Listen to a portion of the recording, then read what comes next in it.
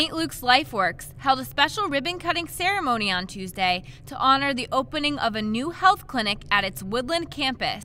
Optimus Healthcare Incorporated and St. Luke's will work together to provide appropriate health care for the homeless. Looking at all of the other components that are involved in uh, a client and their needs, there's housing, but there are medical issues as well, and behavioral health issues, and some have substance abuse issues, and they're all really interconnected.